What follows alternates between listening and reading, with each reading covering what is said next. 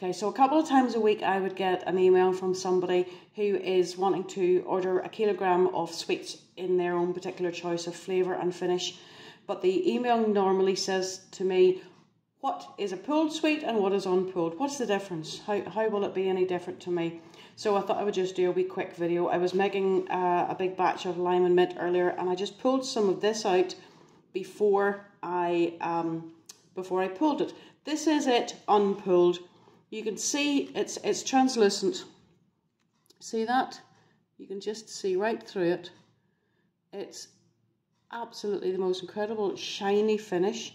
It is hard as anything.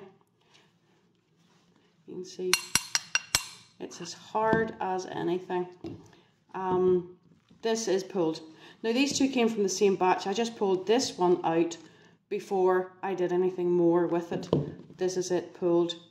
It's hard, yes, but it's not as hard. This is more brittle. And when you break it in half, you can see little holes. You see that at all? It's maybe hard to see. You can just see sometimes tiny little holes. I mean, it's not always, but sometimes tiny little holes there. Now, I don't pull these lime and mint terribly long. I could pull them and pull them until they're pale, pale green. They would look like Edinburgh rock.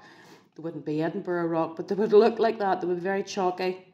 There's wee holes through it. And that just comes from kind of the folding process uh, that's involved in pulling it. Pulling basically introduces millions of little air bubbles that reflect the light, which is why it looks much, much lighter. It also has a slightly more brittle finish and um, it would have a tendency to, to shatter much, much easier. It would um, You could crunch it rather than have to, um, like a, a traditional hard boiled sweet, you kind of have to suck it and let or let it just dissolve.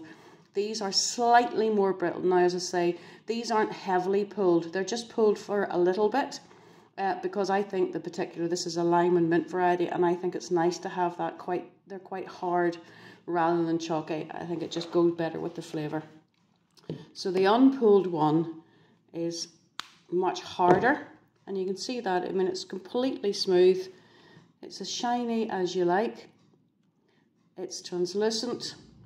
It's very slippery. It's like glass. And uh, it would tend to sort of melt. I mean, you could crunch it, I guess, but, you know, not recommend it. I don't think your molars or your dentist would like it too much. So that is the difference. These are hard. Think the old, can you still get them? Fox's Glacier fruits.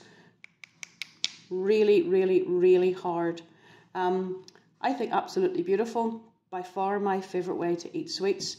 I just like to have a sweet in my mouth and just let it stay there. That way I don't eat very many of them. This is uh, much uh, less dense. It certainly wouldn't be as slippery or as glass-like. And uh, you could you could crunch this, but it, as I said before, it's not overly pulled, so there's still, um, you know, a hardness to it. They're not completely brittle or anything. So that is the difference in non-pulled, this one, and pulled, this one.